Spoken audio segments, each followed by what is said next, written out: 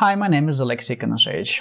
I would like to talk about regulations of ICOs, initial coin offerings, and crypto exchanges in Australia, and what exactly the Australian Senate uh, said about it in their last report. This is the fourth video in the series of videos on blockchain state about the final report of the uh, Select Committee on Australia's uh, Technology and Financial Centre published in October 2021.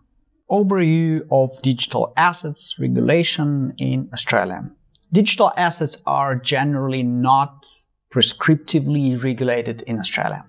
Several regulators have a current role or potential future role in regulating these products. In particular, certain digital asset businesses must register with the Australian Transaction Reports and Analysis Centre, AUSTRAC, to manage potential anti-money laundering and counter-terrorism financing risks. Digital assets that meet the definition of financial product under the Corporation Act 2001 are subject to regulatory oversight by ASIC. Companies dealing with these financial products need to hold an Australian Financial Services License, AFSL, or an Australian Market License, depending on the circumstances.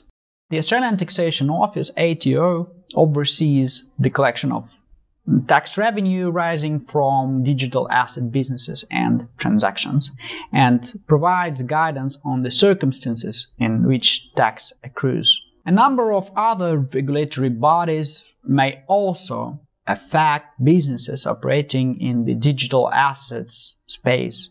For example, the RBA, Reserve Bank in Australia, has responsibility for payments policy and monitoring the development of digital assets intended for use as payment mechanisms, such as stablecoins. The Australian Competition and Consumer Commission regulates how businesses can market and sell products to consumers.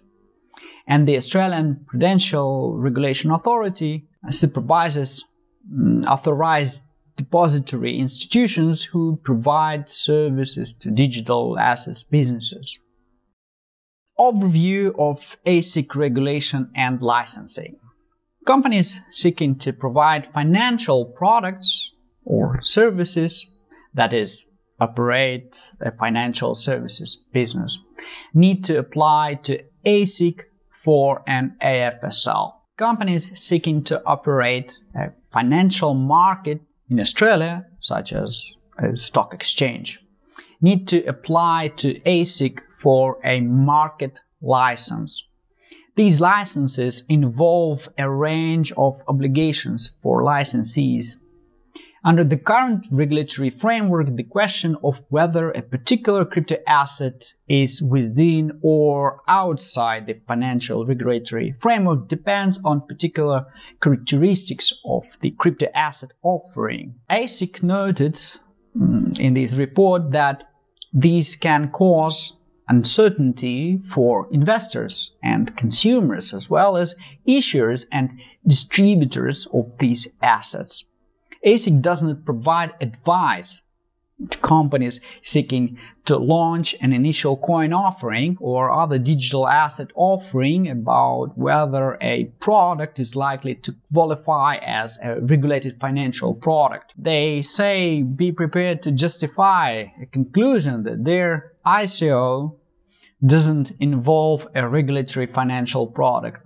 Most crypto assets that are currently available to Australian retail investors via Australian-based digital currency exchange provider or overseas-based trading platforms fall outside of ASIC's regulatory perimeter, meaning that companies offering these products do not need to hold an AFSL license or a market license. For example, crypto exchanges that exchange only cryptocurrency, they don't need that license only when they start selling security tokens, mm, they they need to to get that license. And uh, for instance, if you've got an account on Binance and specified that your residency in Australia, you will be able to buy and sell cryptocurrencies, Bitcoin, Ethereum, and so on. But when you click on any crypto token, the system will notify that you can't buy it.